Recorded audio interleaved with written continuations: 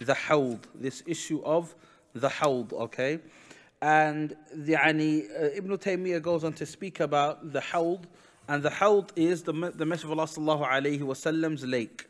The Messenger of Allah sallallahu alayhi wasallam is lake. And the Messenger of Allah sallallahu alayhi wasallam, okay, uh, goes on to speak, uh, uh, says about it that, yani, it is whiter than milk, sweeter than honey, okay? The amount of cups and yeah, the amount of vessels that are, that are going to be drunk are like the number is quanti- is it cannot be quantified. This quanti- this only this only form of quantification is to say that it's like the amount of stars in the sky.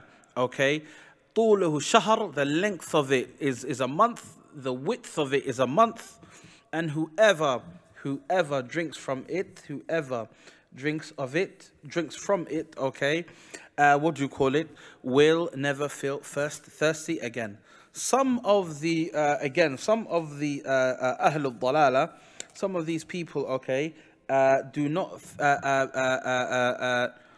uh, uh, what do you call it? Some of the people do not believe in the validity of the of the hawd, but there are too many ahadith, okay, ahadith in يعني يعني Muslim and other ahadith which show us about the hawd, the hawd the, the, the, the, the, the يعني, I'm not going to say the lake, but نعم, this big, huge kind of uh, lake that the Messenger of Allah sallallahu alayhi wa is going to be given. And the, the, the, the, the Messenger of Allah sallallahu alayhi wa has a hadith and it said, لا يردن علي الحوض رجال من صاحبني. Okay? Uh, that there will be uh, حتى إذا رأيتهم رفعوا إلي اختلجوا دوني فلا فلا فلا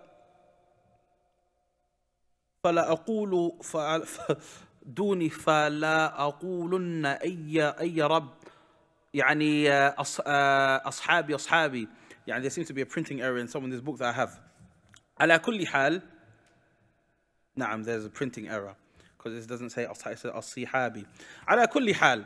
People will come to Yom al-Qiyamah to the person, okay, on Yom al-Qiyamah, and they will say, they will come to this, they will come to this, uh, they will come to this, uh, يعني, uh, this, uh, what do you call it, this Hawd, this Hawd of the Prophet Muhammad and they are going to want to drink. And this, this shows us the validity of the Hawd Yom al Qiyamah. Okay, they're going to come to the Hawd. And Allah, and the Messenger of Allah sallallahu alayhi wasallam is going to want to, uh, uh, what do you call it, is going to want to allow them to be to, to quench their thirst so that they're never they're never uh, uh, uh, thirsty again.